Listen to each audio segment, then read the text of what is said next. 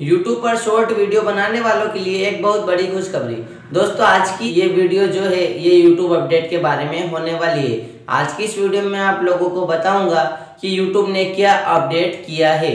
तो दोस्तों वीडियो को बिना किसी देर के स्टार्ट करते हैं। उससे पहले वीडियो को लाइक कर देना है और चैनल को सब्सक्राइब करके बेलाइकन कॉल पर प्रेस कर देना है। दोस्तों, आज की वीडियो का जो ये अपडेट है, मैं आपको अभी बता देता हूँ। अपडेट ये है कि दोस्तों शॉर्ट वीडियो पर हम अब थंबनेल लगा सकते हैं। जी हाँ दोस्तों, अब से आप शॉर्ट वीडियो पर भी थंबनेल लगा सकते हो।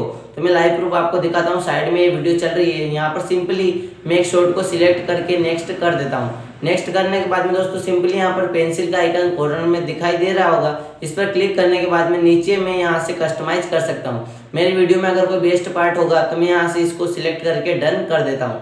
अगर मेरी वीडियो में कोई या आपकी वीडियो में कोई भी सिलेक्ट करने के लिए बेस्ट पार्ट नहीं है तो चिंता करने वाली कोई बात भी नहीं है दोस्तों। आप जब वीडियो को एडिट करते हो तो उसके लिए एक थंबनेल टाइप में जो कवर होता है, उसको सेट कर देना चाहिए। जब आप एडिट करते हो तो वहाँ यहाँ सिंपली आप सिलेक्ट उसको करके यहाँ पर डन कर देना। तो आज का ये अपडेट था दोस्तों। अगर आप शॉर्ट वीडियो पर थंबनेल लगाओगे तो लोग आपकी वीडियो पर ज़्यादा क्लिक करेंगे और क्लिक करने से आपकी वीडियो के व्यू भी इंक्रीज होंगे और आपकी वीडियो वायरल भी हो सकती है। तो दोस्तों, आज का ये यूट्यूब की तरफ़ से जो अपडेट था, ये मैंने आपको बता दिया है। मिलते हैं ऐसी कोई नई वीडियो में। वीडियो आपको कैसी लगी लाइक भी कर देना और चैनल को सब्सक्राइब करके बेल आइकन कॉल पर प्रेस कर देना है। मिलते हैं ऐसी कोई नई वीडियो में। तब तक के लिए जय हिंद, वंदे मातरम।